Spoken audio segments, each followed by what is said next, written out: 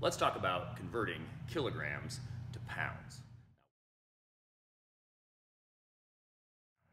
Now, why might you have to convert kilograms to pounds? Well, very often this is going to happen in someone's first lifting meet, whether it's weightlifting or powerlifting, especially in weightlifting, this is going to happen. They go to their first meet, maybe they've been training in pounds, and now suddenly everything is in kilograms. The warm up room is in kilograms, on the competition platform, it's in kilograms, and they're in trouble. So we got to find a way to quickly and easily convert from kilograms to pounds.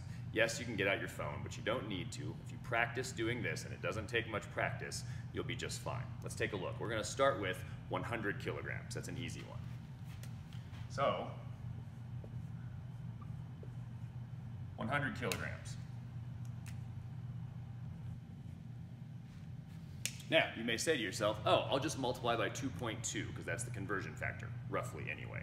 Stop multiplying by 2.2. Don't do that.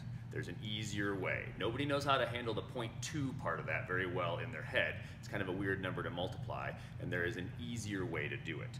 First of all, simply double the number. 100 doubled, you get 200. Not too difficult. Now, you may remember, back from your schooling days, there's an invisible decimal point sitting right here.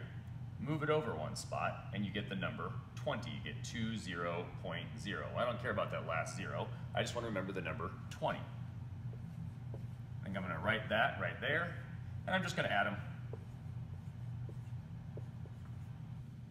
220 pounds. That's supposed to be an LB. Easy process to convert. 100 kilograms is 220 pounds. Let's take a look at a slightly more complicated example. Not much more complicated.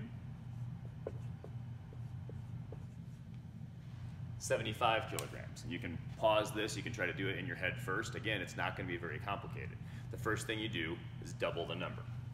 So I'm gonna take 75, I'm gonna multiply it by two, and I get 150. Remember there's an invisible decimal right there. I move it over one, and we get the number 15. Add them up, what do we get?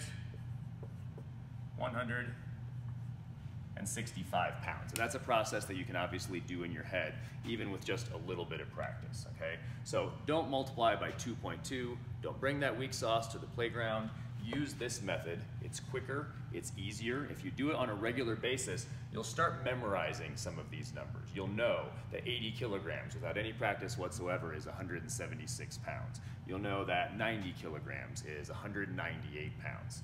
So practice using this method, and I hope it helps.